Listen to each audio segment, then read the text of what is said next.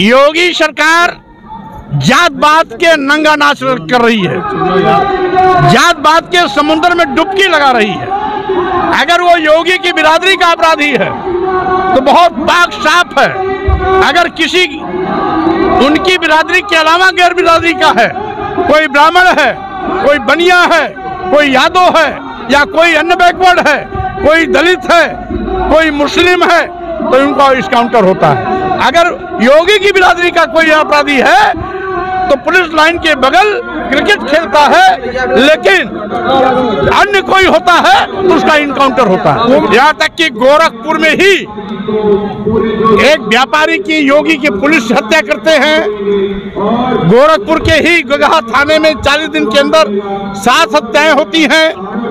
हाथरस में दलित बेटी के साथ क्या हुआ, पूरा देश देख रहा है।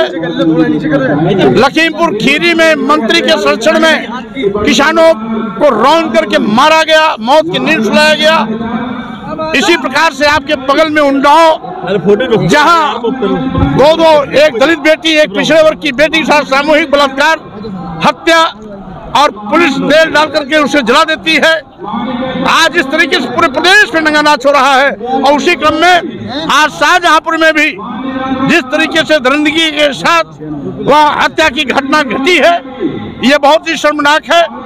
और अभी भी योगी जी अपनी पीठ थप- थपाते हैं कि उत्तर प्रदेश में कानून का राज है। इनका गुंडा राज ही इनका कानून राज दिखाई पड़ता है।